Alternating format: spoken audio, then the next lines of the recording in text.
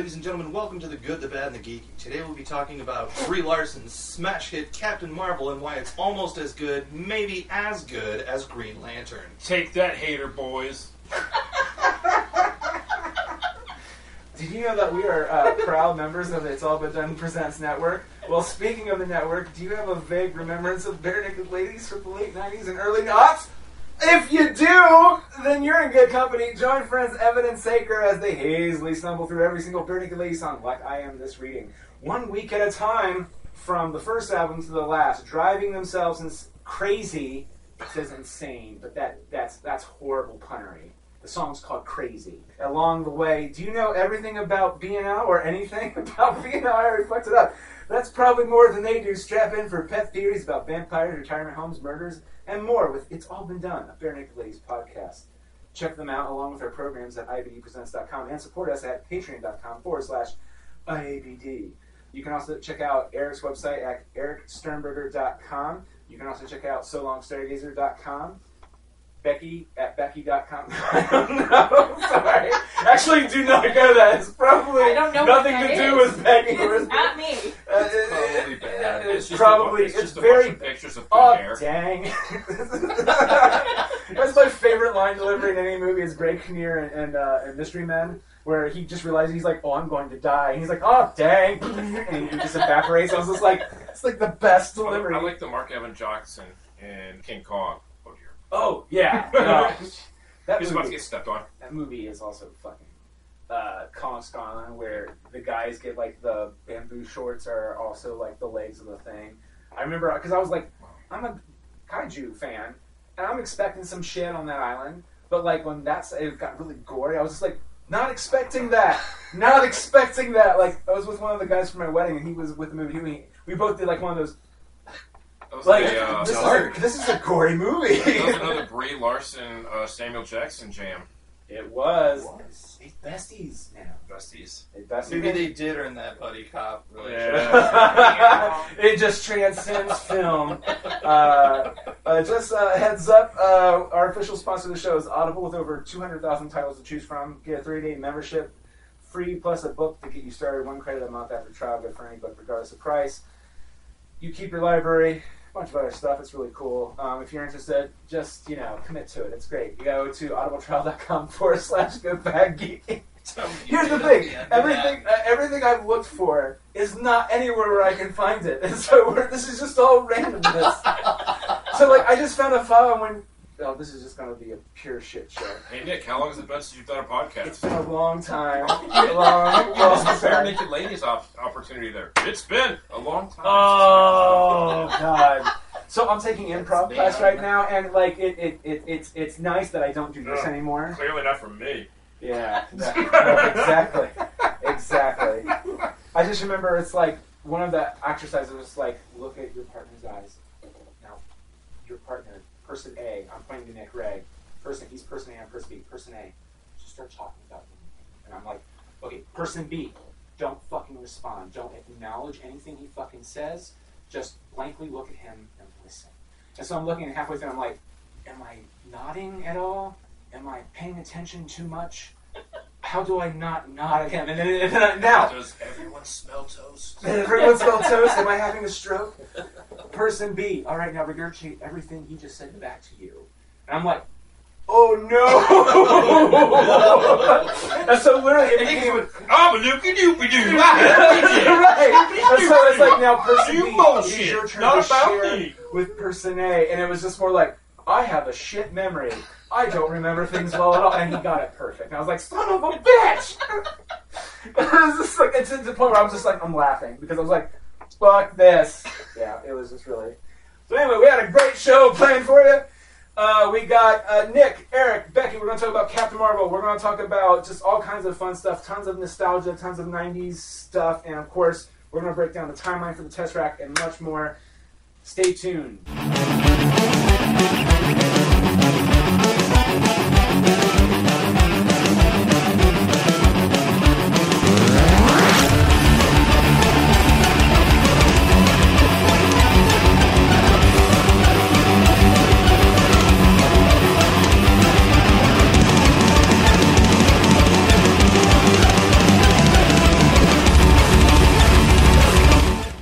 Talk about Captain Marvel, the new Marvel movie, and well, let's just go around. Well, let's just uh, we'll start with you, Beck, and we'll go counterclockwise. Yeah, yeah. That's okay. What your overall thoughts are of the movie? I loved it. Awesome, like multiple awesome female characters. Really, like it was nice seeing Nick Fury be just a dude and not like some shadowy spy figure. And an excellent use of 90s music. Okay. All right. I like Um, sorry, Becky. no, That's okay, I've never seen it taken yet. so he did he did Facebook message me and was just like, should I see it a second time? I have thoughts. And I was just like, and that could be taken both ways. No, So like, if you said that to me in person, I'd be like, oh, there's some sarcasm there. There's probably there probably are, but like there, you know, Yes. Uh, on general, though, I really liked it. I think it's a upper mid Marvel movie for me. I feel the same way about it as I did like Black Panther. I feel like it was more important than good, okay, but it was still a lot of fun. Uh, Yes. It had. I had a hell of a lot of fun in the theater. Thinking about elements after the fact made me kind of go, "Wait a minute," and, and a few things. Oh, yeah. And which is something we'll get into, and I'm going to say it before anyone else can use it. It's uh, winked at the future a little too much. okay, And that is Okay. a pun. yeah, okay, all right. Now I'm, I'm with you, Nick, sir. So, my biggest problem with this movie. I really liked it. No, I'm, I'm, no uh, I thought the movie was great. Uh, it was a lot of fun. I had a lot of fun watching it. I really enjoyed Ben Mendelsohn played his role so well. Like he really Oh, yeah. did such a good job of, of emoting under all of those prosthetics. Like for crying out loud, that was And glasses. yes. Oh yeah. And glasses, yeah. He doesn't need those. It was really, it was really, really well done. Yeah, I, I would agree. Like upper mid. Ah, I was thinking closer to mid tier. Like, yeah, I don't know if it's in the. Well, top here's the thing.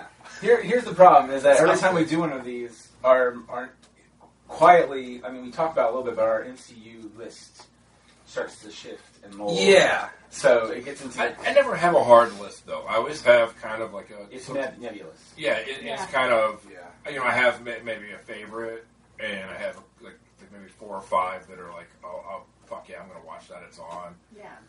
And there's a whole bunch of them that I'm like you know what um, why not? There's none honestly that I'll just turn off. Not even the Incredible Hulk. I mean that is the least. Was that officially Marvel? Yeah. Yeah. Oh. Wait, Yeah. which is that the one with Ed Norton? Ed Norton, Yeah, Yeah. Okay. yeah. I mean that that's one that I'll you know I might do a, more laundry than the others with. Sure. Yeah. That, that that's that's how you can tell. Yeah. Will I do laundry? Yeah. During this. No, but We're I, not going to lose three hours. I mean, if, if you'd said it like, oh no, which way does this rank with you know these other four whatever ones that I've put in the same range? Right. I don't know. Yeah. So I don't have. Uh, I I know it. Mine's probably in the middle, but I because I like I felt like Black Panther was a better movie than Captain Marvel, but I feel it's just as important as Captain Marvel in terms of Yeah. what it was trying to do. I I enjoyed it, but I enjoyed it the second time I saw it. The first time I think I was just bothered because we had these two idiots next to us at Lennox that were just like critiquing the movie.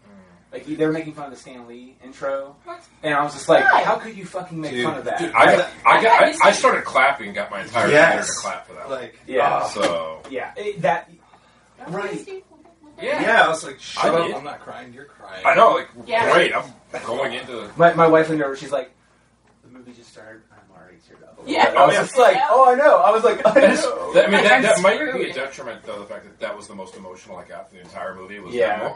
that Well, so so But I how can you not? Yeah. I mean, So that's I'll, a real person. I'll talk about something that I guess was a very it's a pro, but it was also a con for the movie because I felt like so my con and pro at the same time is the, how the origin was structured because you never got to really sympathize with Carol because the movie opens up she's Vers Vers Vers Yeah. Veers. Veers. Absolutely. Cheers. Mm, it's gonna be a problem for me.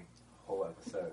Drink. Uh, Well, it's, it's spelled verse, but in Kree it's pronounced veers. Veers. So that's, I mean, that's or they're just making shit up at that point. Let's be. All right. No, no, I know. I'm sorry. I'm. That's, It's like you're when you're actually suddenly right. talking about tacos in the middle of it. Like it's, suddenly it's like you know how like some people put a different accent on jalapeno in the middle of Jalapeno. Yes. beers is the same way. I don't know how people do that. This is new to me. Oh yeah, talk to someone that suddenly they run across like a like a like a Mexican word and like throw an accent on it for no reason in the middle of like his, his talking No. with no accent. It's hard to say jalapeno without asking jalapeno or something like that. Just Yeah, trying to. Now taco. Yeah, I can say taco or tacos. Yeah, it's Uh, my mom's saying mojito in the middle of any conversation. It's like suddenly Mojito. she gets a Spanish accent. Yeah. someone. Yeah. Mojito. Would you like a nice burrito with your mojito? Peculiar. it's very. I was like making that. Damn it, now I'm craving Mexican. or Mexican, if we're, uh... I don't know. That's, that's borderline appropriation, I think. the accent.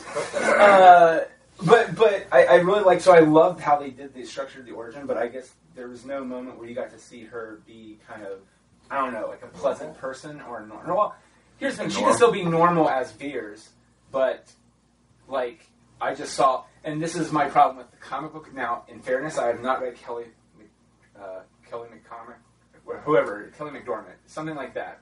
Yeah, I don't She think did I, the I, reboot. I, I read Reed's whole run on it. Um, I I, would read when she would show up in Spider Man and, and the Avengers and Fantastic Four. And I think that was Reed's run uh, when when he was Brian Reed. I think it was. Yeah. Uh, which was through the Secret Avengers. Well, she came off kind of as a jerk. Like a okay, so her and Tony are very similar in that how they come off. It's just that one is a fly by the seat of your pants, and Carol, at least in the comic books, was not as fly by the seat of your pants, but she still would all the time. I think for that, uh, they were using I think Bendis's model at that point, which, where she was very military. Which I think at that I'm point. fine with that, but like I, I guess I didn't really. There was nothing that made me connect with her right from the get go. Like I felt bad that she didn't have her memory, and I knew we'd get it worked out by the end. But And, and I heard one issue. I heard someone else had an issue with that. Basically, said they would they wish they would have been like one other scene of her struggling on her homeworld world. Oh, like Just on, on some kind of thing about how you she's mean on Hel- Hera, Yeah. Hela, Holla. Hala, Hala, or on Earth because that because they're both technically her homeworlds. Yeah, but uh, but, but how there was like she was there, but there was like a scene of her like normal day there. or Yeah. something. There really isn't like So so there wasn't like a baseline like, hey, here's uh no, there really wasn't. The movie felt like a lot hit the cutting room floor.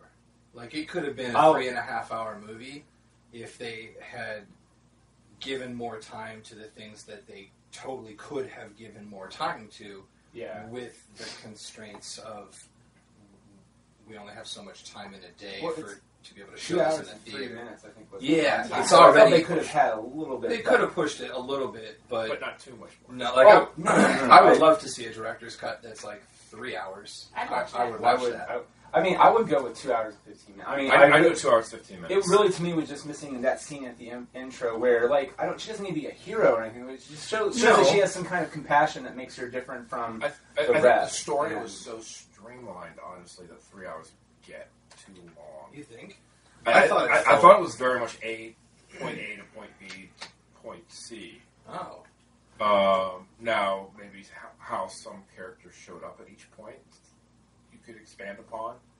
But Yeah. I, mean, I, I feel like it was very like, hey, we're gonna go here. Oh, there's this. Let's go meet this Yeah. person. Let's like, oh, well, now we have to go to this place. So, if, so I don't know where you'd find another forty-five minutes, but I mean, there could you could have a lot more with Annette Bening, the stuff on Earth with Oh, Annette I don't know if and when Dr. Wendy. Well, the history there. That was this whole other problem Yeah. too, which I think was tying into what you were saying is winking at the future a little bit too much. Like, yeah, like Ronan looked really weird in the normal Ronan comic book green garb than the black garb, and because I, could tell Lee Pace's voice, and, I was, and then he said Ronan, dude with the big fucking hammer. Yeah, you could Yeah. see Ronan, uh, but he didn't have the same garb he had from Guardians of the Galaxy. I was like, yeah. I, I don't like Ronan's outfit today. Also, no, there's gonna be a Disney Plus series. Yeah, right. uh, it's the friendly on, Ronan. on, on, like uh, Ronan from Here Till Now. I They- really- They set it up so that they could do another Captain Marvel movie that takes, you know, that's still in the past, but more That's what I hope they do. They can easily do a, a Captain Marvel movie that's split. I would like it to be more in the. I don't want them to. I, I'm fine with them not doing a Godfather t- part two where they just focus into like Captain Marvel. Yeah. I want to see what happens when Ronan goes after her because I want to see her kick Yeah. his ass. Like, and, and it also leads up to the point. The Kree just have problems with everybody, which that's that was in the comic books too. But I, I feel the difference is at some point the Kree learn to work with most other races. I mean, just Ronan didn't. kind of, yeah. Well, Well, that could always that's a that, that could be essentially how it ends up in the MCU too, though. Yeah. That By the time she comes to Earth, hey, I fixed Kree. Yeah. Well, Things are good now. Yeah.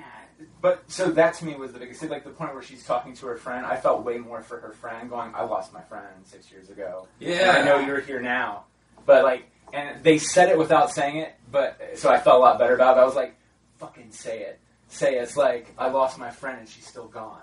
But because that's technically what she was saying without saying, it. and I was Right, like, yeah. "Good for you for not saying it with the exact word." Because sometimes Marvel, I love them. It's, It's a little it's on like the conk you on the head with it. You're like, "Thank you." I understand now. like, show me, don't tell me. Thanks, Right. guys. Unless you're going to have Michael B. Jordan do that really awesome quote at the end of Black Panther, then you're just like, "Fuck, right in the heart, man!" like, Yeah. yeah, like that's like because he has it. He's been yeah. Anyway, that's Black Panther. Yeah, check out our last Black uh, Well, Marvel, well, Marvel I mean, episode. With that that, that was baked into his characters. It was, it- yes. So that wasn't a all of a sudden it's been like just this badass guy that's been killing people, and suddenly he just gives his motivation before he dies. Right. I mean, he lived that motivation up until Yeah. that point, and he put word to it. Yeah. It's just different. He Now- said his name. I, I, I, I will say this too. Until I saw the second time, and then I had to look it up. The Tesseract broke my brain a bit in terms of the timeline, Okay. and I had to look it up. And I did look it up here, and we'll go over here in a second. Because isn't it? Because don't they pull it out of the Arctic Ocean? Because Travis and I were talking about that. So, it was said Would be in before this? Captain America: The First Avenger by Johann Schmidt, aka the Red Skull. The Tesseract, or the Cosmic Cube, mm-hmm. for us comic nerds, is the jewel of Odin's treasure room, and at some point got lost on Earth. Or hidden. or hidden. Actually, I'm, I'm, I'm wondering if it was more hidden.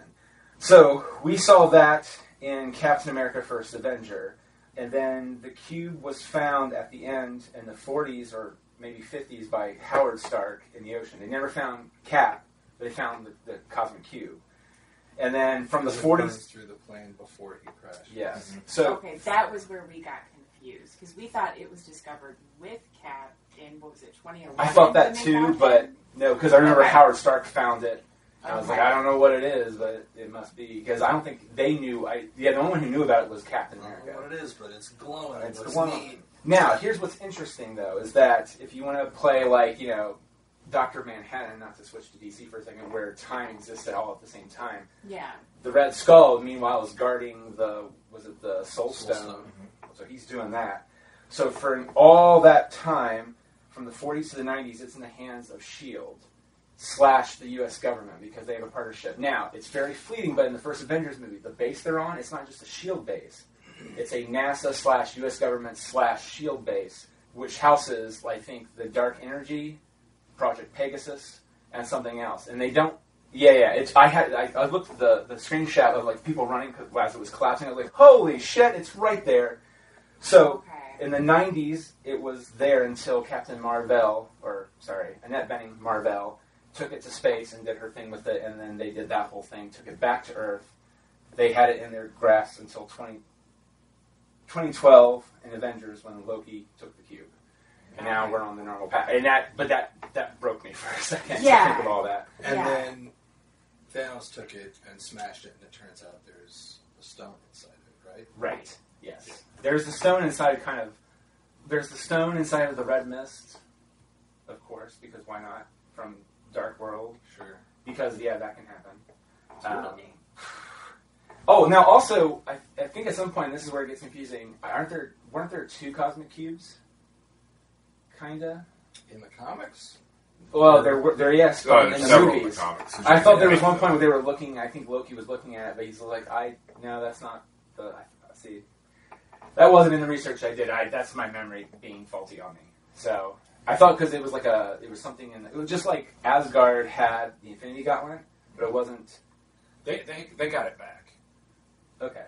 Because, remember, Well, he- Thor took it at the end of Avengers to Right. Asgard, but I thought before that I thought in the first Thor movie, there was. I thought the big There- blue thing was. There- Is there there was- decoy? There's a couple things there, but that's why when uh, in uh, Ragnarok, Hela's fake. In, Oh, okay.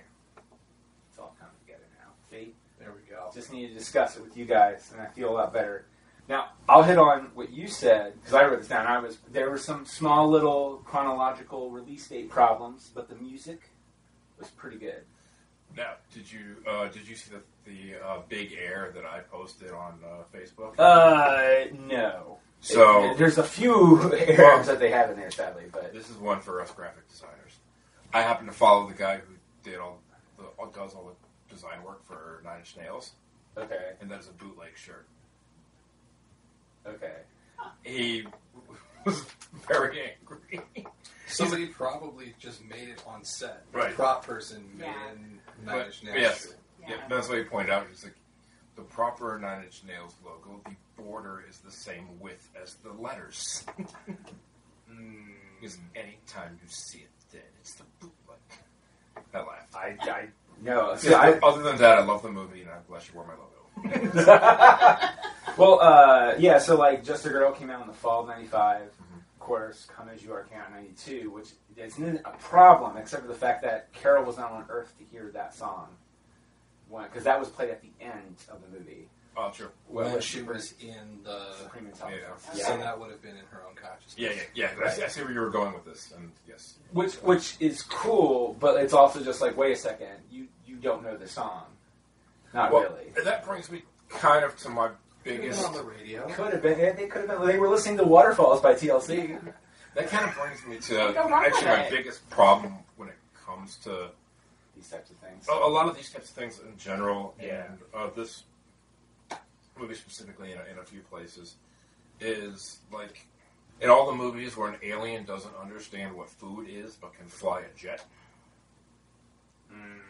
and they always get like those those weird like lapses of like I don't understand this. I'm not from here, and then like they turn around and then they can, like can write Shakespeare. It's like what the fuck. Can you fly this thing? We'll find out. And you're like, well, I, I know you will. Well, we know she will because she's flown them before, Yeah. presumably as Carol But Danvers. but but here's the thing though too. If it wasn't her as an Air Force pilot, she still would have because But- she's Captain Marvel. Yeah.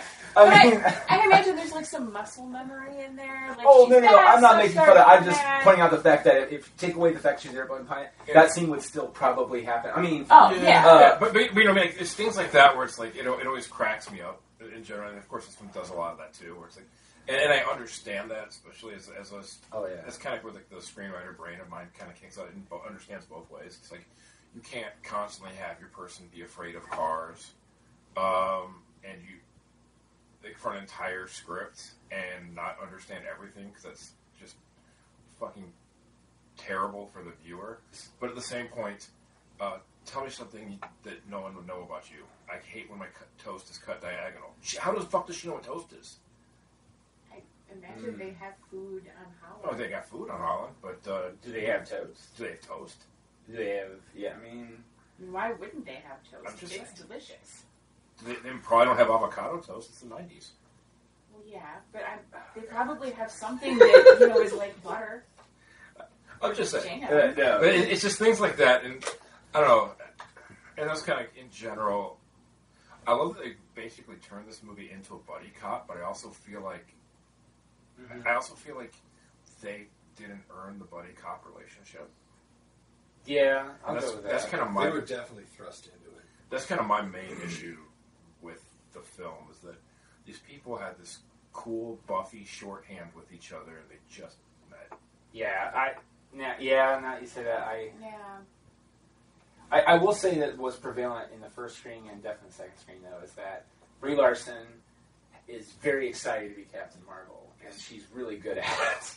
I, I, I want to be. She yeah. is. Well, okay, so say what you will about the film. I felt Ryan Reynolds did the same way with Green Lantern. The only problem is that the movie was just all around bad. Like you could tell he was excited to be. You know, watching Green Lantern, you could just be like, you no could. His performance is just like, guys, I I'm gonna turn to Green Lantern at some point in this movie, and it's gonna be cool. Just bear with me. And then the movie keeps going. I was like, all right, guys, I'm gonna go to this planet and we're gonna do some stuff, but the writer strike hammering, but trust me, it's I'm, I'm so happy to be Green Lantern. And then at the very end, he's like, Shocked the same guy that directed that directed oh, Casino Royale. I know, it makes me just so fucking sad. That's that's all I meant by that. It's just like when you watch him doing Deadpool, it's just like he's having fun with it. You can tell he really was having fun with it, but he just couldn't do anything with Green Lantern because it's just a bad movie.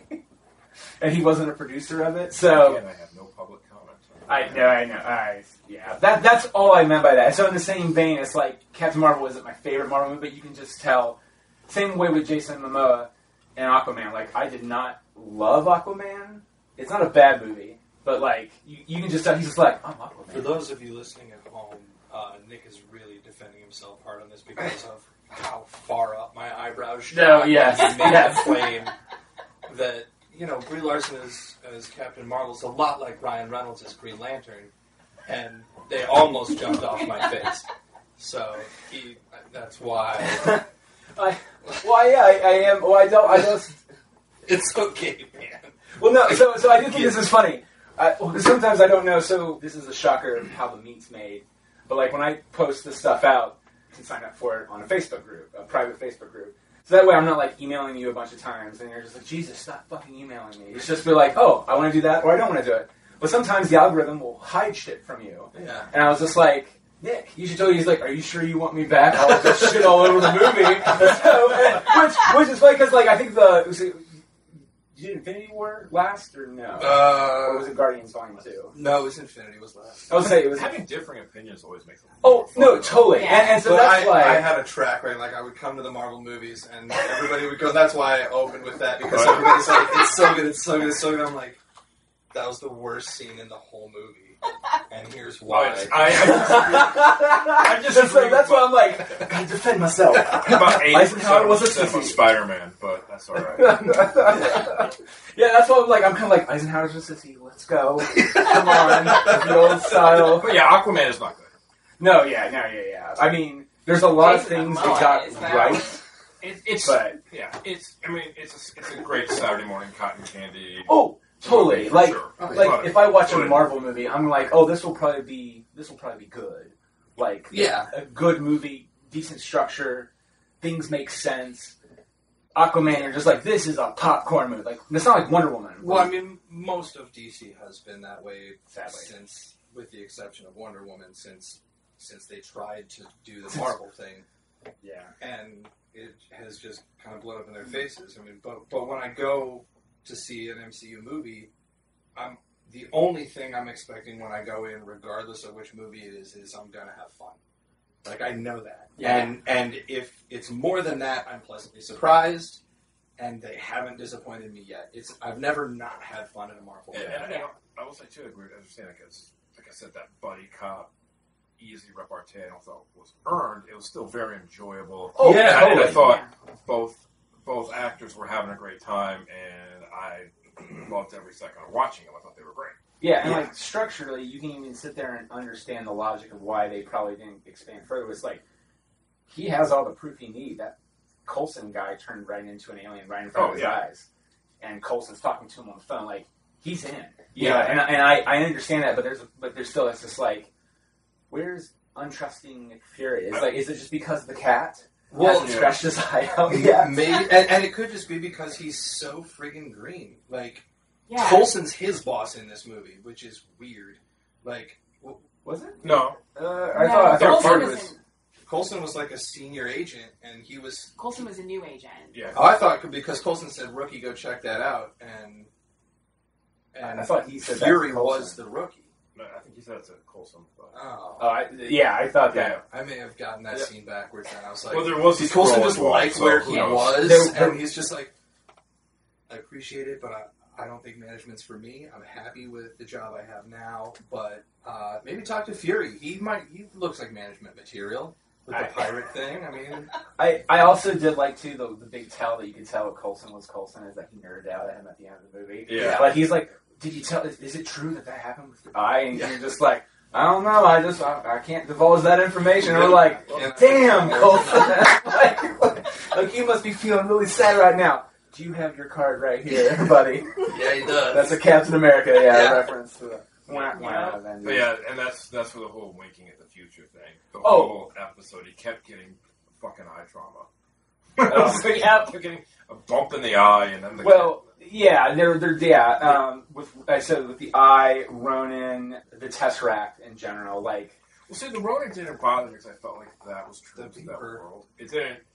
I mean, it would have bothered me if, if somehow because of that is how Ronan got into the, the black stuff and, and the um, what's it? Was it? Um, yeah. No, what's what? Uh, damn, who's the guy who's? Because he's the accuser. Sorry. What's uh, the conqueror? What- Who's the? Uh, Galactus? no. The other guy that was part of the uh, Marvel Space Force team. oh, uh, there's the accuser Ron Yog, Ron Yog, uh, Don Rog, who's played by Jude Law. Right, and uh, uh, uh, Hounsou's character, who was also in Guardians of the Galaxy. Oh, the Ravager. No. No, No. that was Wyatt. But like, i- i- if they also somehow had him join Lee Pace and them splinter off, that would have been too much winking to the future for me. Yeah. To, for the fact that they just were there made sense because it was Kree, Yeah. and it didn't. Tr- so that didn't bother me at all. Actually, that's the kind of world building stuff I like. Yeah. And I guess I can get past his stupid outfit because he's a younger, a younger, less mature. Maybe maybe Ronan wasn't quite as cynical yet. I mean, then, he you seem, know, I mean, which is funny because he seems really cynical. Yeah, about it. right. He's, you know, he's I just mean, like Nick Fury hadn't even discovered leather jackets yet. Yeah, so right. What can happen? you know, a lot can happen in one year. he gets the eye patch. I think it's Leather the eye patch, and then he was like, I don't know, the Well, and I patch. feel like yeah, if you wear an eye patch with anything but a leather jacket, you just look like a soap star. Well, yeah, I, yeah. I'm not gonna lie. I was also waiting for them to go like if they would cut back to Nick Fury like in the presence of when he comes back because we know he will, and not in Spider-Man because we don't know if that's after Endgame or before Infinity War, which I'm thinking it's before Infinity War. I just I, I, I just feel like there's a scene where he, he's still like trying to pick something for his eye, eh, which would be just ridiculous. it's like twenty years later, 20 years- still just like, like, that's the reason why he has that patch. He just hasn't got. He just he can't make a decision, and and so he's still. Did anyone else find it peculiar when they gave him the box of eyes? Just the variety of colors. Usually, if you're picking out a prosthetic eye, they're like, you got brown eyes. Here's like eight shades of brown. and You can like decide which one is. yeah, when I built my house, like- there were two trim options. That's bullshit. yeah, there's like, here's. Do you want? We got all these blues and greens and browns, and like there was an orange one in there, and like all of the rainbows of. I mean, I mean, I guess there you was, there was gotta like a green, there was like a yellow. Yeah, I mean, you I'm, get to I'm be as glad there creative wasn't as like you a, want, right? a- an But- Easter egg of one of those being like some weird other character's traditional eye color, like pattern thing. Uh, if you pause it and Like, look, oh, there that's probably Tigress is. So now, if you also want to get kind of nitpicky, the song at the end credits, which I really liked, and it took me a second to figure out who the fuck it was, which is was uh, uh, "Celebrity Skin" by Hole. Oh yeah. yeah.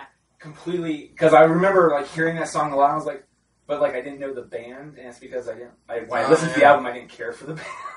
no offense to Courtney Love, I think she's as well. She's a great murderer. What? Damn. Yeah. Oh. So, I would say no, it's okay. I thought she was a good actor in Man on the Moon, but uh, that was after the murder, of course. I winked. Don't see me. No, I know. Um, it's not funny. Kurt Cobain was the shit, man. But yeah, I thought that was like it was an awesome end credit segment. That air's taken out of that whole. Oh, thank you, Eric. Thank you so much. Did it feel to be? Man, I, Everything you say will be invalid. Just think of Kurt Cobain. right? Like, oh, you just keep taking Who it also back. had Oh, a song sorry. in the movie. No, Yeah. he had like two, didn't he?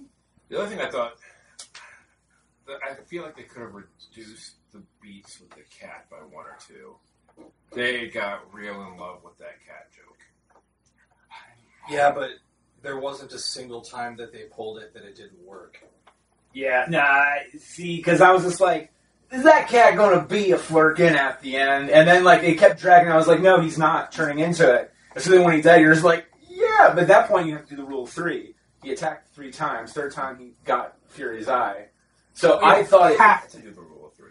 Yeah, yeah, that's you can, true. You, you, don't you have can do to. two and make the second a callback. Well, but he Okay. Uh, fair enough. Fair enough. his first attack was Fury's eye. you you didn't know it was a Flerken when he scratched you because he said no, it's just it's a cat scratched my eye, and and I thought Ben that Mendelsohn's was. like no, No, that was at the end. That was a, that was at the end. That was the very end. Although Ben Mendelsohn did the no thing twice, because when they Yeah. first took off in the ship and there was the turbulence, Yeah. and Fury's like, oh "Is yeah, that yeah. normal?" Yeah, he's Oh. like, Brie Larson's like, "Yeah, it's totally normal," and Ben Mendelsohn's like, "No." Yeah, and can we speak about the fact that I, if if anything, okay, Brie Larson obviously killed it a- a- as Captain Marvel, Oh, yeah. um, and would have to, but without Ben Mendelsohn's performance, that movie falls completely apart. I'll, I'll go with that. Yeah, she I- was I feel- fantastic. if, if it wasn't for his performance, if, if you just had someone playing that just in any other way, just not giving it the, just the, the for lack of a better term, humanity. I don't know if there's scroll humanity, but um, that that that role had The one thing the Supreme Intelligence didn't count on. Humanity. to, to, to kind of to arc that character and make you care, make you believe yeah, him. yeah, throughout the whole thing, and it, it- but yet he was playing the whole character the whole time. It was the same character the whole time. It wasn't like it. It was only perception, the perception of him because everyone told you he was such a bad guy that you thought he that was a part bad was guy. done really really well. Yeah. It wasn't like he was twirling his mustache and then suddenly you realize, Yeah. oh, he just had something in his mustache. Like later on, it's like Yeah. it was like Well, I feel like some actors, it, when it's written for them well, they it could still falter in the performance, and I feel like it could go that way with this one. Um, not to say the writing was horrible. Like I feel like I'm going to say it wrong. Christoph Waltz. Did I say it right? oh, yeah, yeah, Um, I felt like because I saw like four movies where he played the bad guy. One of them was Tarantino's own Mhm. Glorious Bastards. When he showed up in Django, I was just like, he's going to be a bad guy. He's in it the whole time with DiCaprio, and it's like, no, No, No. and he was And- brilliant in that no, movie. right. And so I feel like, but he's still. But have you seen the, uh, the Battle Angel? No, I haven't. See, okay, so here's the thing. he's that, that's actually uh, a good parallel to this, and I hate to spoil a little No, bit it's about that we, we'll, we'll, there's spoiler because let's be honest, no one gives a shit about the plot of that movie, even the people who made it. Um, but hi- his Feeling good character, about it, Eric. Feeling good about it. His character at, at times are, it's like you- you're made to think he's a bad guy, you're made to think he's a good guy. He's acting creepy, he's acting secretive, but like it's never a consistent way he's acting that Oh. you're perceiving it. Okay. It's always like as the scene dictates, when or the, like we want you to feel like he's creepy now. Whereas like the entire time in this one, Ben Mendelsohn's like, "Hang on, let me talk to you," and Brie Larson's punching shit. yeah. yeah. which, which I mean, that whole scene where he confronts her at the at the farmhouse, like uh, Lu- Lu- house in Louisiana, yeah. Yeah. was just like because even I was just like, we're gonna have we're gonna talk. I mean, I'm not. I don't. I, I will say the first time I saw it, my writer brain was just trying to go, where the fuck is this going? Oh, Like, yeah. I know we're going to get where we need to go, but how is this going to go? but you're supposed to think that though, as an audience member, at that point, Right. Just because Brie Larson's thinking the same thing. What the hell? yeah. This isn't what I'm. S- What? Well, because she had that that fake memory program Right. into her, where it's him who is doing the shooting. So Yeah. Mm-hmm. obviously she's not going to trust him. But like, yeah, I was the first because I saw it twice. Yeah. Mm-hmm. And the first time I was so I'm like, where what the. Shadow? I, I, I will say too, and this is I picked it up the second time, and I, I could be wrong. It could be it's very open to interpretation, but where she's talking, I don't know the girl's name, but Young Trouble, Lieutenant Trouble, the little girl, Oh yeah, Monica. Mon- Monica. He's talking to her. I I know, I'll, I'm going to get to that in a second. oh yeah, yeah, yeah. He's, she's talking to her right before she leaves, and she's like, "Hey, Lieutenant Trouble." He's like, "You remembered," and she just kind of smiles at her, and I was just like, "You don't remember her." That was just her being nice, and I was like, "That's what I fucking needed at the beginning of the movie." to to be like, because you know what I mean. She's she's not lying to her, but she is. That's how it came off Well, to and me. that's what that's what you get like like you're saying, like that muscle memory, like the flashes, like she, like she instinctively felt like calling her trouble. Right. Or I also think they remember. Like, didn't she even say it's like, "Remember, I, I'm trouble"? Or I felt like they someone someone mentioned it, but but still, it's just like I, Yeah. she was. There was an act of kindness and with that little girl nice to a kid, Yeah. like a save the cat. Which, It really, yeah, like, like Hellboy saved the whole thing. Cats. No, 100. percent But fun fact, which is what Eric was alluding to, and I didn't realize this until because I kept thinking I was like, is that Riri Riri, Riri Williams? Riri Riri. No. Riri. It's not. No, it's not. No, it's Riri. Monica. It- Oh no, no, I know it's not. But I had to. I kept thinking as I oh, was Okay. watching. I was like, is that Riri Williams who is the new female Ironheart. Iron Man? Ironheart. Well, yeah, because then Tony came back and then she became Ironheart and he oh. became Iron Man again. But like, I was like, is that who that is? But it's really the other Captain Marvel. Yep, the one who, in continuity, took over for Marvel first. Yes. Photon. So the other weird. Wait, the daughter or the the, The daughter. Lieutenant daughter. Trevor, yeah, Okay, because Photon was the Yes, the call yeah, sign. Yeah. yeah, which I thought was really cool. So like, technically, if when they kill off Brie Larson, twenty years from now, they can bring that girl back. Well, and that have girl's going to be be the same age as her mom now because she's in modern times. Oh, yeah. She's well, going to be Brie Larson's age. That's what I'm saying. Though All those sequels are going to be. You just say Jesus. No, I said details. Oh, details. I thought, you had to. It, here's the thing. The thing is, it works out both ways. Yeah. He's like, this is like 20 years from now. Jesus.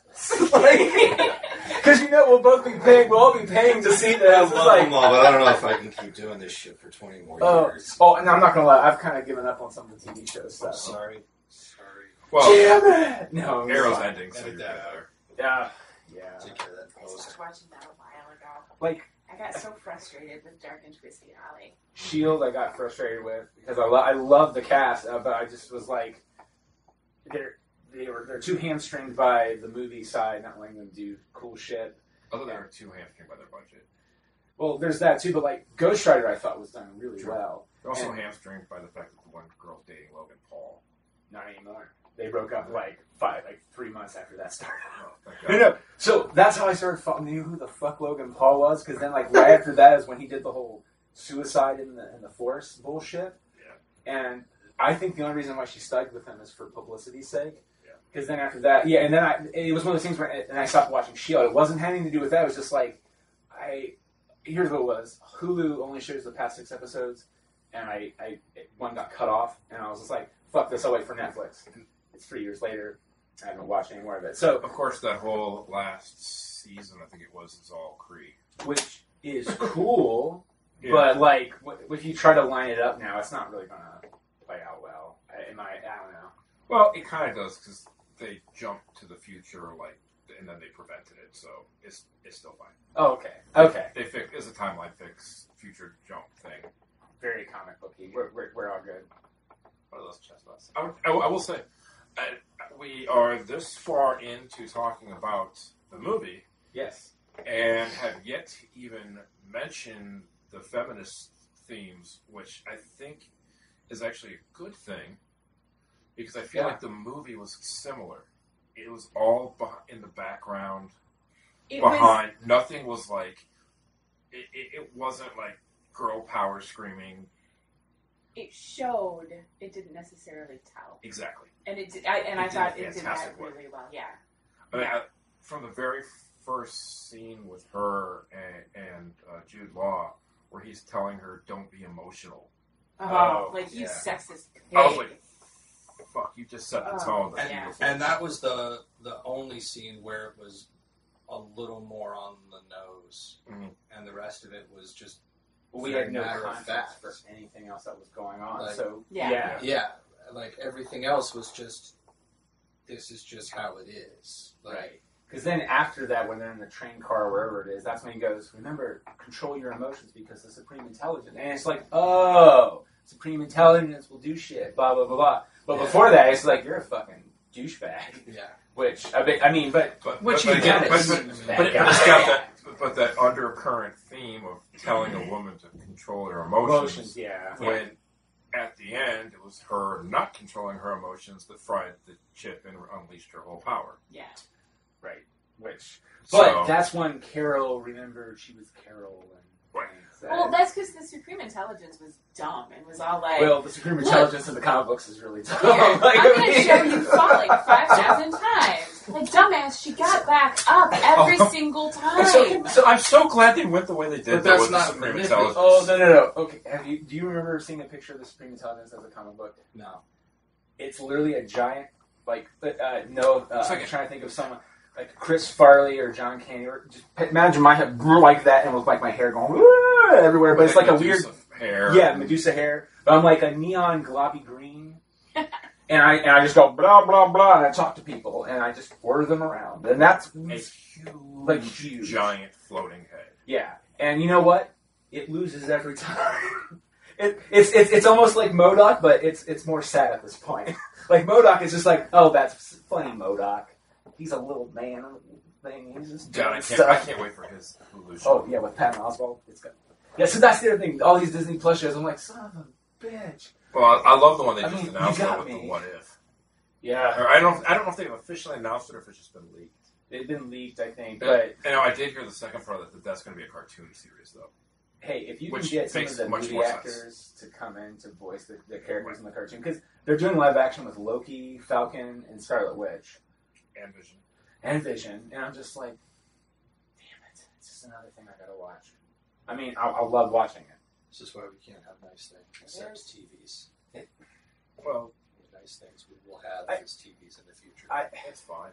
I, I really, I really do stand by the fact that I, I love it dearly, but I still stand by the fact, and I've said this, I think anytime I, I can, Spider-Man would work way better as like a TV show.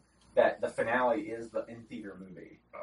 Sony is apparently developing a some in in universe Spider-Man show of some kind. See, but here's here's the thing. Last time I said that, and Nick Ray has not seen Spider Verse yet, so Okay. it's it's really good. It's But really it good. is really good. But I will say, like when that first came out, I saw the trailer and I was like, nope, nope. I want to like it because Miles is in it, but nope, because fuck Sony. yeah, that was They my do not initial do reaction good. too. Yeah, yeah. And then it won an Oscar or something. Got nominated for an Oscar.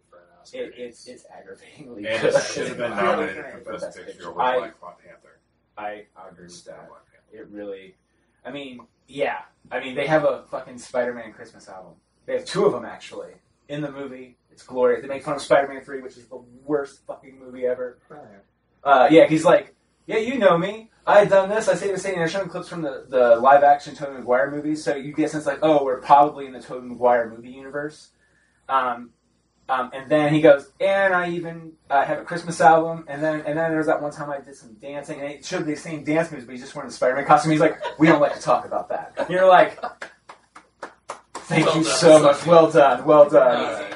Yeah, but but to get to that point, I remember they had the clip of Jake Johnson as Peter Parker, and I love Jake Johnson. Yeah. uh, he's my boy on New Girl, and he's just funny in almost anything he does.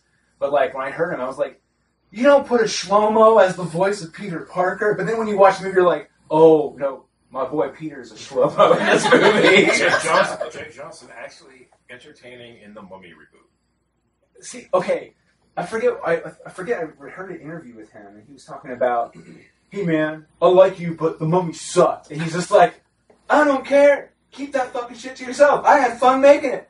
Fuck you." And like, because he's like, so I don't ask people what they think of my movies or anything anymore. Yeah. I just like, you're a fan, great. Let's get this shit over with. Uh, thank you for being a fan. And he just walks away because he's just like, I- Not a did I great movie, but he was Yeah. good in it. yeah, he's like, was the movie good? Who am I to say? But I had a lot of fun making that movie. I got to run and scream and stuff. I got paid having fun, and that was and I my got to meet Tom Cruise. Yeah. Right. Yeah. Yeah. I, well, mm, mm. There's Tom Cruise. There's Tom Cruise. I know we were Yeah. getting Yeah. serious, but Oh yeah, lay it down. one the the beef, beef the There we go. The beef. The wet The beef. For those of you at home, Nick just took off his shirt. So it felt like it was set in the '90s for no other reason than nostalgia and to be able to sell the fact that nostalgia sells so damn much these days. Yeah, like it to the point that it's like, quit it. Like I have seen the Crossfire commercial enough because I was 12 when it was out. I don't ever need to see it again, but it shows up in my Facebook feed twice a day. Like all the shit like Goldbergs. if you were a 90s kid, you might remember these things. I'm like, I remember those. I don't even need to open that because I was a 90s kid. Remember Fireball And- Yeah, it, it's just all, it's everywhere. And it's like, It's good just- old it's days. the cheapest content to create. Not not movie wise, because you have to actually, you know. You have to go back and build all of that shit again. The Radio Shack and the Yes. Blockbuster. Yeah. And, but it, it felt like it was j- just like the I- '90s felt like a marketing ploy from the music to the locations that they the sets like I'm not gonna lie. The first time I saw it, it, the blockbuster thing bothered me just a little bit, and I didn't know why. Because then I liked the nerd in me was like, you have the Hudsucker proxy in the background. they, I mean Fucking a. they No did a really good job with it. Well, right, but like usually you're expecting, oh, is it going to be all like uh, Disney movies? And I was like, nope, nope, nope, nope, nope. Yeah. True Lies was the Yeah, the True. Lies, the one she shoots Yeah. down. Like I But- thought that was good. But here's the thing: my dad, who when we saw it the second time was right next to me, lost his shit when the Blockbuster sign came out because he's like, "Ah, Blockbuster!" And he did like the Brendan Fraser like thing. Like, I, like I'm just trying. He really didn't do that, but like, but like that's how funny he thought it was. He, he, Yeah. I, so that landed with him, and I was just like, "Yeah, everyone likes that joke," and so That's- I understand why they have it. they like to call a four quadrant movie. No, uh, yeah. Dad's not listening to this, but if, if you ever, I'm sorry.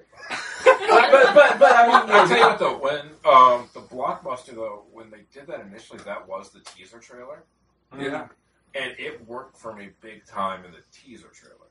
yeah. I, I will. Um, yeah, I'm at that so, but also like that was like the one '90s reference in the teaser trailer. They kind of did that, and then they got it out of the way, and then they went into everything else. Yeah. So it really worked for me that way then. So as an extended sequence, you know, it wasn't as Brendan Fraser for me. Um, but I wasn't Very anti nice that. way.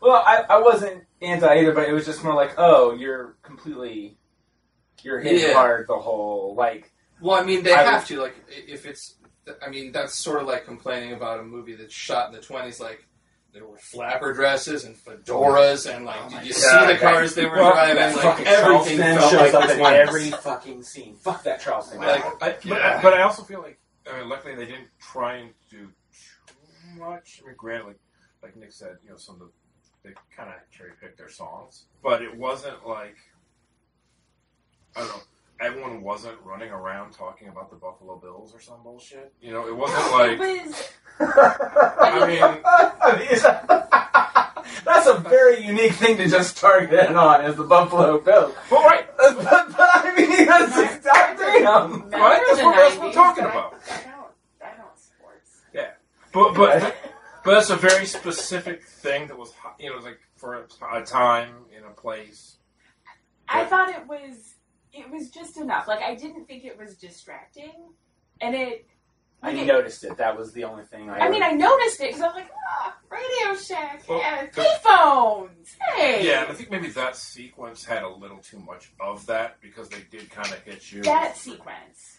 But I think that that was the welcome to World- Earth. like, like, yeah, like, it was the world building. This is the setting. Yeah, like Yeah. this is it. This is. I mean, they didn't like. It was a showing moment with the Game Boy. I was just like, uh, and I was like, wait, what are you doing? I, I did love the loading files on a computer. Oh Yeah, man, the Windows 3.1. Like, what's it Yeah. doing?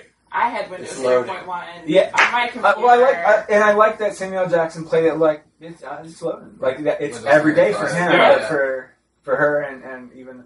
Oh, also, mad props to the joke is like it's like basic. What what did, what did, what did they say it was? Where her ba- Marvel's base is hidden? It's like it's basic physics and velocity. Oh, it's and it's it's it's basic physics. Orbit. orbit. It's, it's an. or- You're my science guy. Yeah, yeah, Okay. and, and, and, then, and then he's like, I can get that. My science guy. Like I, just, I was just like, I was like, well done, well done. And it was sad that he, he got blown away. But, Yeah. but Was that was that a uh, what was the need of him to sacrifice himself? I, Because I, I, 'cause, I mean, I, that was a, clearly a sacrificial yeah, moment. There's no way. Yeah. There's no way you go into that thinking you're going to get out of it, especially if everyone else is leaving I you think to he- go up into space. I think he knew that. Maybe, but I, I don't know. I mean, that's that's an interesting point. I, I would say that I mean, like he, He could. They could have come up with a different diversion to get the science guy on the plane. Because I mean, There was enough room on that board for Leo to be on it. Right. Like, yeah. Yeah. God, enough with the fucking nineties nostalgia. Near, far, wherever you are. Yeah, yeah. And actually, you know what? Yeah. That would be the sequels with Nick Fury and Goose. And then doing that. I would watch a sequel if it was Nick. I would watch a, a sitcom. This is Coming Nick Fury and Goose. what, what you didn't know is you They felt that that body, show. the buddy cop thing. You Nick thought the Fury, buddy cop the was morning. Nick and Captain Marvel. It turns out it was Nick and the Flerken the whole time. Nick and the Flerken. Nick and the Yeah, yeah. Flerken. This is actually just Turner and Hooch. That's all that's happening. Wait, wait. Fury and the Flerken, because no one calls him Nick. Yeah, but yeah, you got to, you got it out Yeah. first. But that's why I was just like, mm, Flerken, Flerken, It's Fury like, the Forker. That, that was a good bit too. Though, what does everybody call you? What do you call your mother? Fury. What does she call you? Fury. when, when, then then even then they switch around. It was like when you talk to your mom, what do you say? Like Fury. like he just calls everyone in his family Fury. Everybody in his family, like, what, what does your mother call you? Fury. That- well, when you're talking to her, what do you call her? Fury. It's like and with that. I, I didn't realize how much of the movie he was going to be in initially. Oh yeah. And I mean, like I said, it's a straight up buddy cop movie between the two of them. But like, look at how good that de aging was on Nick Fury, Yeah, man. and especially if you compare it to Aquaman's dad, Yeah. which okay. I I didn't know who the hell that actor was for the entire like sequence, and until they showed him like in modern times, I was oh. like, like Jango Fett. I got it. See, I got it right away because I was just like, He should have looked like Jango I Fett at that point. point. 'cause it was I 20 years ago. see him in a lot of movies, and I'm, I'm not saying he hasn't because I looked on IMDb. He's been doing movies. Oh yeah, I've, yeah, him But in a few I don't. He hasn't been like he's been like more like a side, a very small part in the movies. And so when he showed up as Aquaman's dad, I was like, Jango Fett, is that Jango my boy Jango? And then like when you because yeah, they also did a lot of far wide shots. Yeah, and then, so then once he had the baby, then it was closer. And I was like, yeah, that's totally Jango They Fett. had like a lot of weird Vaseline Oh. shots or something on it. I don't oh. know. But like, it was one of those things where they needed. Yeah, he should have looked just like he did as Jango, but that's that's. Well, I mean, so there's a part of me that wants You- you- there's Alec enough- Baldwin I mean, be. Lucasfilm had to have all that digitized I'm for God's sake. but he's too Seriously. big now. There's no way to really de-age when you you just go a little bit too much. Hey, just get just give him a uh, vertical stripe and uh, have him stand in a proper way. Just shoot, just shoot everything from a down or uh, from an upward angle. I, I mean, Nick, Because Nick, downward angle, you just they see. filmed that movie in Atlantis. They can computer generate Oh things. yes, I'm Couldn't sorry. they just I give mean- him a special suit that's like green on the sides? so How did it they shoot the first the green 20 minutes screen? of Cap? Actually, they When- used to stand in. When he was a skinny guy. I thought They because Joe photoshopped his Johnston, head. I think they photoshopped his head because Joe Johnston is like Jon Favreau, very much like an old school guy. He worked on Star Wars, Mhm. and so he's all about practical effects. So I think they had a stand-in. They did the scene like I think five times, like one with not like so Bucky's talking to nothing. Then they had one with I think Chris Evans and the skinny guy. Then just Chris Evans, and then just the skinny. Yeah, it's I, I'm I'm guessing that's how it is. Now after that, Chris Evans was like I don't want to do that anymore. I'm a busy man. I got like three Captain America movies to shoot. I got a cameo over here. I got Winter Soldier over here, and we're prepping for Infinity War. So I'm I'm guessing because I know fucking Robert Downey Jr. doesn't wear the suit. He also Yeah. his lines fit to him via an earpiece, but Yeah, he doesn't wear the suit anymore. It's, yeah. And then I yeah, because I think was it Don Cheadle was wearing the suit in the second movie halfway through, and he's just like, he, but he, he didn't have any scenes with him right away. He's like, why does he have, why does he not wear a suit? So in the last scene, they're not wearing a suit together. Yeah. I was just like, but it also shows you how awesome the effects guys are because that whole scene is just them standing there talking to each other with nothing else Which, there. which is Which- such a crock of shit what they get paid. Oh yeah. Especially because one of the effects houses that did one of the movies that won the Oscar uh, went bankrupt right after the Academy Awards, and like no one on the team got paid for the movie because they were so far in debt. Was it one of the Final Fantasy movies? Uh, it's- I think, yeah, I, mean, I think it was there was one this year. There was one just Oh. weeks ago. Oh. Damn. And so it's like these people aren't getting paid.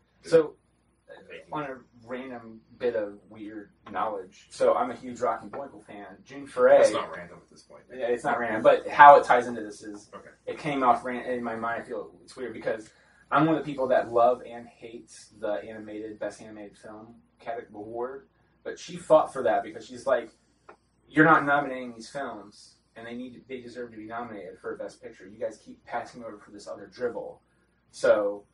I think there should be an Academy Award for Best Animated Picture. So she campaigned for it. I thought it was one of those weird little Hmm. because there's one of those things I was like, I hate that they have that. It's a it's a pity prize.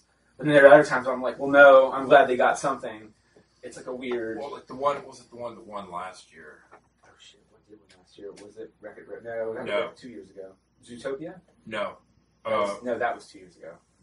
Everything was two years ago. That's It was all two the ago. um, oh shoot, it was the one. 'Cause I knew Kubo was up against Zootopia, and It was everyone like the, liked it was the one about Afghanistan, the bread maker or something. The bread.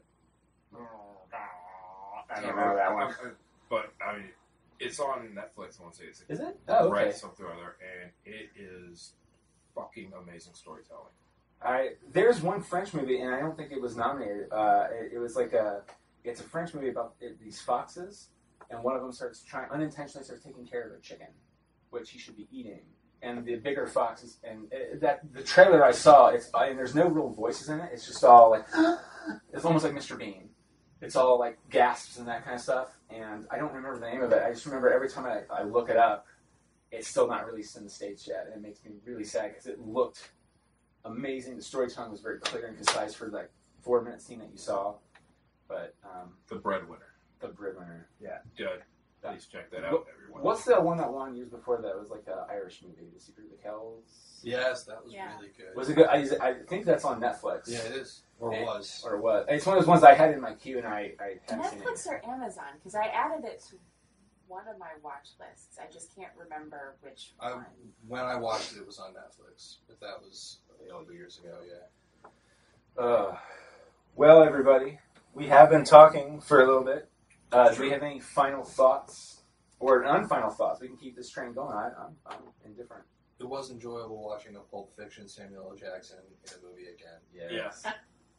Oh, Debating bring, food. bring it back. What? Discussing food. Yeah, discussing Samuel. Jackson. what was there was a meme about Captain Marvel, and Probably. they took a clip It was probably by some incel motherfucker. No, no, no. It was actually genuinely funny. It Had nothing to do making fun of whatever.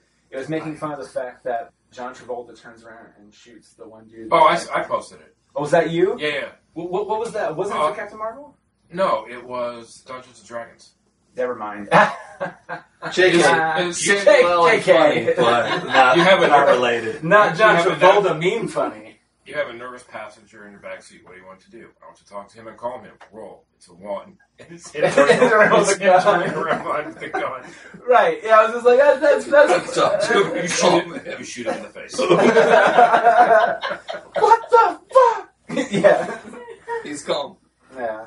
But by the way, I like that his f bomb was not an f bomb; it was mother flerken.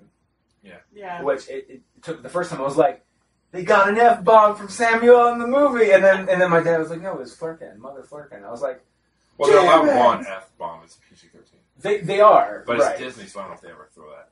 Well, they, they're supposedly saying when Disney and Fox they, they officially completed. I think was it March twenty third or 20th. Ah ha ha ha. Um, it's 20th Century Fox. Oh, actually, it's the company is officially 21st Century Fox. I didn't know when they changed that. I thought that was kind of cool because it's just so cool. I just think it's so neat, you guys. But well, You guys this is amazing. I love your story. everybody just loves the 21st century. I don't know where I was going. Oh no, Deadpool. They, supposedly Deadpool. They're going to do another Deadpool for sure. And Disney's like Deadpool makes a lot of money. We're What's going to have it totally be R. Deadpool or X Force. Well, I heard the X Force got killed off for the moment. They're waiting to see how the merger, how Iger wants to go with it. But Yeah. They killed the X Force in the movie. which, which that I did Well, have. They a brought Peter back though. Yeah. Which okay, but here's the thing. Okay, okay, okay. I, I, I really love that movie, but so growing up, like it's a character that I just I liked, but I didn't like. I didn't know anything else about him was Shatterstar, Yeah. and so when he shows up, I was like, "Fucking a!" Shatterstar, Domino, and Deadpool and Cable. X Force is almost kind of there, and then he fucking just dies, and I was just like, Especially because Son of Shatterstar bitch. actually, in the last 15 years, turned into a really interesting character. Well, so I heard that later, and I was like, "Fuck you, guys!" But but, but as a kid, you're just like, "Shatterstar, X Force," and then he just dies. And I was like, Right "Son out of the gate. Yeah, Dual right out of the swords. gate. Yeah, dual sword. Also, I, I I forget who pointed it out last time we were talking about this, but another little fun fact: if you've not heard of that episode, when they're putting the people on the wall, they put like some like a knife through their face. The only one who doesn't get a knife in their face is Domino Oh. which is kind of ooh foreshadowing that they're going to die. which I thought, eh, Yeah. isn't that a neat fact, everybody? Sorry. One, one thing I will say about uh, Captain Marvel, though, uh, Way to is, home. man. Way to take it home. Is I feel like this was one of the better third acts of any of the Marvel movies, where it was clear, it made sense, it wasn't fighting four thousand nameless, faceless things and something big. It's more personal. It was, and and you could follow the fight, Yeah, I'll go with that. and and it, the fight kind of had layers to it as it unveiled itself, mm-hmm. and as she claimed her power, destroyed the shit out of everything, and based, and then when Jude, Jude Law tried to goad her into. All I could think of when, when Jude Law tried to goad her into Oh, that yes. fight of because he knew he couldn't win gun versus her power, so he Mhm. tries to goad her into a fair fight. Fuck that guy. It I was made- hoping- it- you know what that made me think of is, um, and uh, sorry, listeners, I'm gonna get a little political here. Is Charlie Kirk fucking trying to get everyone to debate him? Like Okay. he's trying to go after AOC and everybody about saying like, like oh, you think you know economics? Debate me on socialism. I'll give ten thousand dollars to your campaign, and they're- and to all these women candidates. And it's like, okay. and then his like, and then you know her saying, "I have nothing to prove to you," and just like, yeah, it Yeah. was just like, what I keep trying to tell people. If It's like, only AOC could really do that. I know. Yeah, seriously. but it's like one of those things where it's like, I, I, that was to me really registered of of all these men who can't win, trying to be like, well, why don't you fight me fair, kind of thing. It's like, Yeah. why? And then she literally drags him to his ship. Oh, it that was, was- so satisfying. Like you deserved it, you asshole. Also, I like Oh. how he was kind of being a baby about it. Like, I mean, again, it's a master shot, but like you can see him kind of flaming about. Like, oh, oh, oh, oh. I was just like, oh, you law. Also, I love that like after she blasted him, she comes walking up and he's like expecting her to help him up. She Oh, just yeah. drags his ass. Yeah, right. Shit. Yeah. It's like, He oh. takes ah. offers the hand. And Yeah, she's he's like, like, So like you gonna help me up? And then cut to no. No. drag, No, drag, not. drag. Yeah. Ugh. Oh, that was so. All right. So one last thing to throw out there: Do we think that Ben Mendelsohn will come back for? Will he will be the eventual bad guy in the second big major movie, like Secret Invasion, where the Skrulls take over all the superheroes and have been replacing them for years? You're assuming that's what they're gonna do. I mean, no, I, I'm saying, uh, do you do you think that's something they might go down the line because Ben Mendelsohn does play a great bad guy. It is, and I wonder too, or it could. So I, they made a point, and I, I feel like they did it on purpose. But he told his daughter when they were running into the Shield ship, Pegasus ship, cover her eyes, and the mom kind of failed to do that, and she saw him. Oh yeah, kill. she saw him kill. Oh some yeah, she people. calls some people. I wonder if that will tie in to something later down the line. I'm, I'm, I'm probably playing way too much, but I feel like they made a point to like call it out, and Yeah. they very plainly showed it. Oh yeah, And so, I mean, not I knew it wasn't going to happen in this movie, but that would I be felt very like cool. It would be, but I, I, I'm probably putting way too much into that one scene. I mean, I, I feel like them knowing everyone expecting, uh, all the comic nerds expecting Secret Invasion to be next, helped lead them to why they swerved this one. Maybe. Because I think they don't want you to know what to expect. And I didn't, I, which is good. But I'm Yeah. even going into like Phase Four.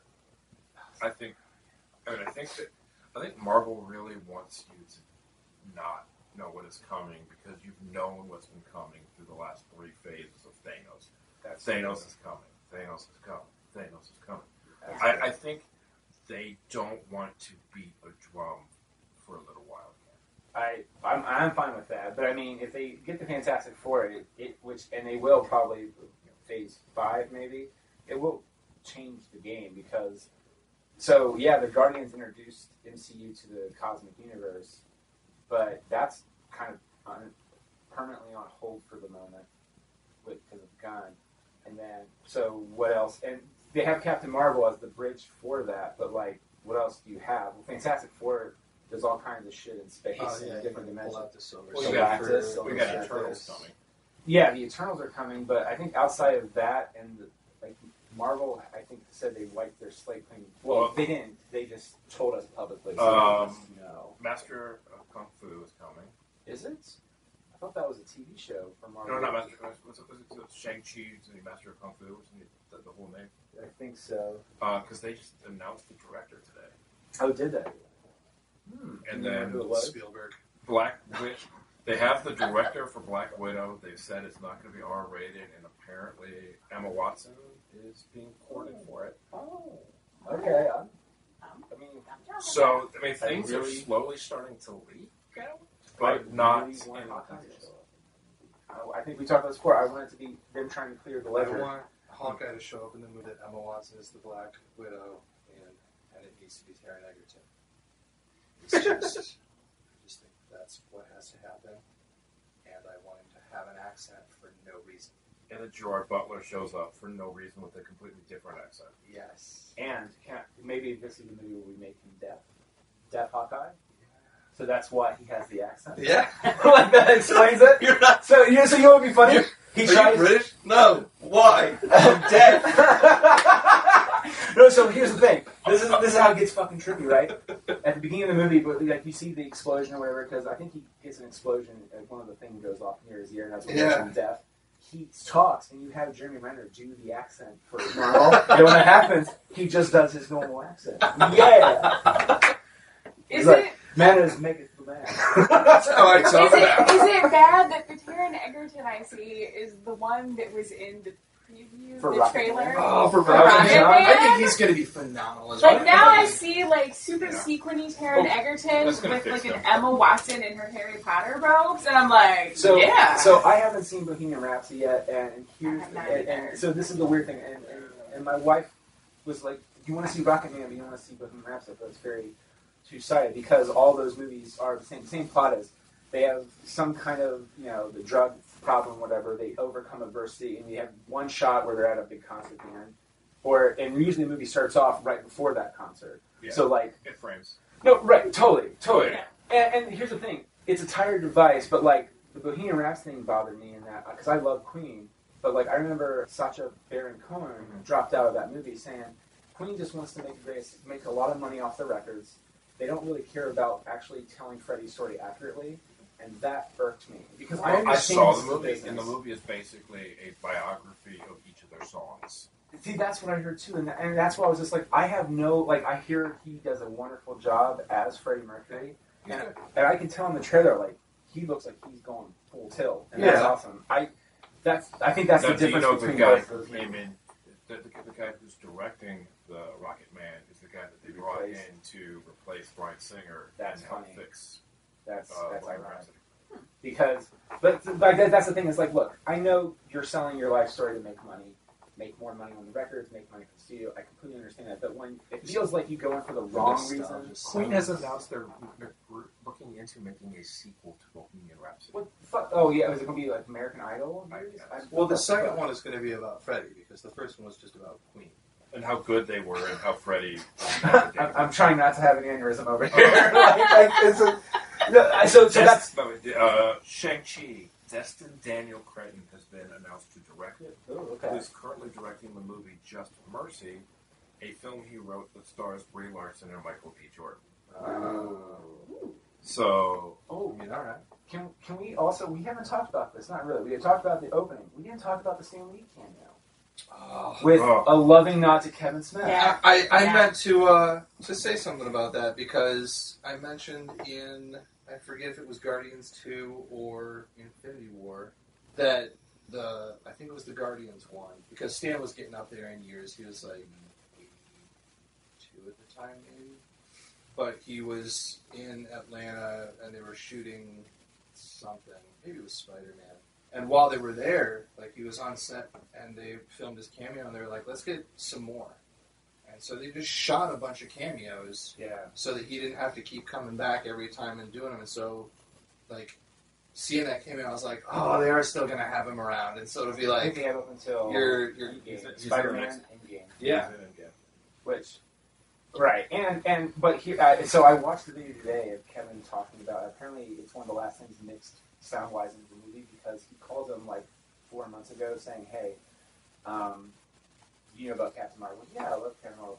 And they started talking about Stan Lee, and he didn't broach it yet. He's like, "By the way, I'm calling you for a reason. The reason I'm calling you is because uh, he explained this breakdown and all that." And he's like, and he's like, "Oh my god!" He's like, "I'm also all calling." He's like. Stan was very weak that day we were shooting. Couldn't get the lines out loud enough for our mics to pick up. do you have any audio footage from Mallrats of him saying his lines over multiple takes? And he's just like, I mean, I'm not disrespecting man. Man's not a one take wonder. We could have multiple takes, but Universal has that. You need to talk to them. And he's like, thank you. I'll reach out to them. And so apparently that's actual footage from or audio footage from him from back doing multiple takes, No shit. Oh, saying wow. his whatever his line is. Suppose yeah.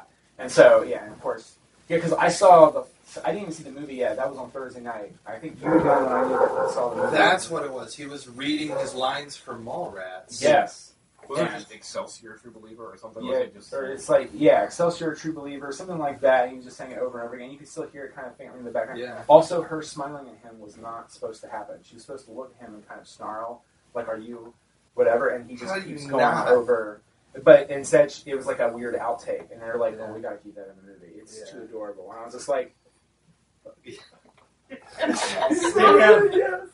I mean, honestly, they. Need, in my opinion, they should do the Stan Lee thing in the next two movies to finish up the phase. That's Well, they, they said they Go were big, doing an go. endgame, and then that's done. Oh, they are. Yeah. Okay, good. Is well, not the cameo. I'm talking about like the opening oh, credits. Oh, oh, yeah, oh. because cameos. I mean, fuck. If you can just put a billboard with Stan Lee's face on it in every movie, I'm Yes, completely like okay with that. Stanley should be an Easter egg in every Marvel movie that's ever released from now until forever. And I'm on record saying that. Or, or if it would just be like now you are. Yes. Well, I, I was gonna say, and, and I will go on record. And I was like, oh no, there's a microphone in front of me. the record is Look, I, look, I will say this on microphone. Give me a microphone. I will do it. I'll wait here for one. You don't believe me? Nick, give me your microphone. I'm just. oh, so at a random tangent, I saw Cat Power at Mumford and Sons the other night, and they I never seen this performed before. They have she held both microphones and sang into them at the same time, and I didn't know what the fuck that was about. One of them is an effects. Has, has Oh. effects on it, and so when you're performing live, a lot of times if you have two mics that are kind of like this, you're singing into this one and it's clean vocals, and you sing into this one and it has the effect that it should be got that it should be on the chorus. And a lot of times they'll also have an effect pedal down here, so the effect that's on the chorus is here, I and then you have your clean vocals, and then the effect that's Ah. on that chorus is here. Okay. Vocals, and then you can blend them both. Okay. I, I did not know that, and now I feel that is a way to wrap up one- Captain one is the universal more- translator microphone. yeah, the universal translator microphone. Oh, okay, no, no. I'll end on one more weird non uh, non sequitur story. So one of my favorite jokes in the new season of Ducktales, or the first season of Ducktales, is they had Don Cheadle. Uh, you know what? It's Marvel related. Don Cheadle shows up and he does the voice of Donald Duck. And what they do is they take a Barksian translator and they shove it down his throat. And Barksian, Carl Barks is the creator of, of Scrooge McDuck. So it's like a nice little Barksian, ah, whatever. And then when he talks, he talks very confidently. He's like, "This is what we're going to do. We're going to storm the money bin, take Magica down, and rescue Huey, Dewey, and Louie. And then we're going to save Uncle Scrooge because ducks don't back down." And you're just like, "Did he always talk like that?" and that's my little. Quote. All right. So a big thank you to Nick Ray, Erik Sternberger, uh, Becky Horseman for doing uh, this episode of Captain Marvel for the Good, the Bad, and Geeky. Uh, do you guys have anything to plug again before we leave? No. I'll just remind people to uh, check out my website, ericsternberger.com. Uh, just got two more things published this week, and lots of stuff on there, including how the, the spec script on how I would introduce Fantastic Four into the Marvel Universe. So, Awesome. Do you have anything, Bex? Not, not that I, I came unprepared. No, it's okay. All right. Well, everybody, thank you guys so much, and then uh, yeah, stay tuned to the next episode. All right.